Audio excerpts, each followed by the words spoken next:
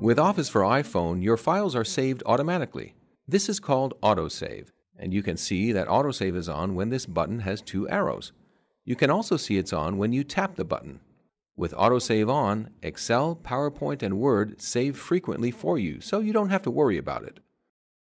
If you want a familiar method of saving on your own terms, you can turn autosave off. Notice that when autosave's off, the arrows go away.